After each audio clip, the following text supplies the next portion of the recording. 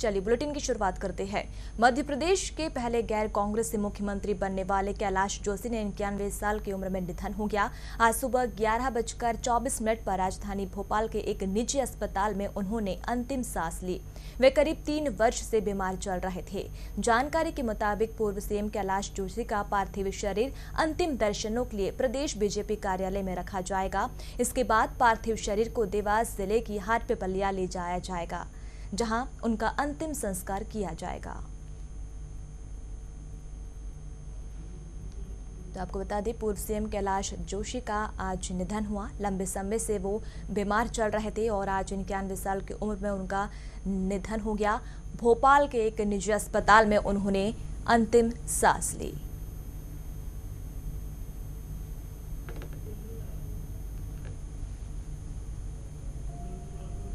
तो सियासी सफ़र जान लेते हैं। कैलाश जोशी का आपको बता दें कि 14 जुलाई उन्नीस सौ उनतीस को इनका जन्म हुआ था। शैक्षणिक योग्यता की बात की जाए तो मैट्रिक पास थे कैलाश जोशी और डॉक्टर हेडगेवाल चारों से ये प्रभावित थे। कैलाश जोशी के बारे में हम बात करें आपको बता दें, उन्नीस सौ पचपन में हाट पिपलिया नगर पालिका के अध्यक्ष भी रहे हैं। और उन्नीस में पहली बार विधानसभा चुनाव लड़ जीतकर ये विधानसभा पहुँचे थे। 19 महीनों तक इमरजेंसी के दौरान जेल में भी रहे। इमरजेंसी के बाद चुनाव जीतकर मुख्यमंत्री बने थे कैलाश जोशी। 24 जून 1977 को मुख्यमंत्री पद की शपथ ली थी कैलाश जोशी ने। मध्य प्रदेश के पहले गैर कांग्रेसी मुख्यमंत्री रहे थे कैलाश जोशी। कई अध्यादेश लाकर कानून बनाकर चर्चा में आए थे। कैलाश जोशी, खराब स्वास्थ्य के चलते उन्होंने मुख्यमंत्री पद छोड़ा था। उनका स्वास्थ्य खराब था और इसी के चलते उन्होंने ये पद भी छोड़ा था। दो बार मध्य प्रदेश विधानसभा के नेता प्रतिपक्ष भी रहे थे। कैलाश जोशी, उन्नीस में भाजपा विधायक दल के नेता भी रहे थे। कैलाश जोशी मध्य प्रदेश भाजपा के अध्यक्ष भी रहे। जनसंघ और समाजवादियों की पहली पसंद भी थे। कैलाश जोशी आपको बता दें कि 1990 में नौवीं विधानसभा के ये सदस्य भी रहे थे। मध्य प्रदेश सरकार में वाणिज्य, ऊर्जा और उद्योग मंत्री भी रहे थे। उन्नीस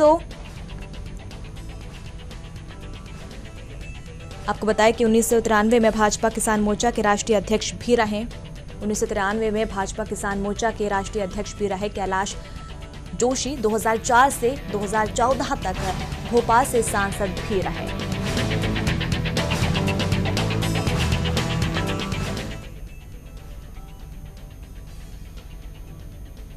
तो आपको बता दें, पहले गैर कांग्रेसी सीएम थे कैलाश जोशी छः महीने तक मध्य प्रदेश के मुख्यमंत्री भी रहे और उनका स्वास्थ्य खराब था और इसी के कारण उन्हें ये पद भी छोड़ना पड़ा।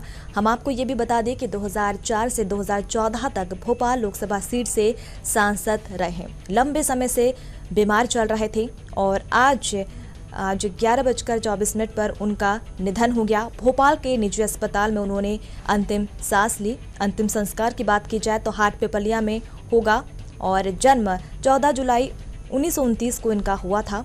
पहले गैर कांग्रेसी सीएम रही हैं कैलाश जोशी और आज इनका निधन हो गया। लंबे समय से बीमार चल रहे थे और बीमारी के चलते ही उन्हें मुख्यमंत्री का पद भी छोड़ना पड़ा था।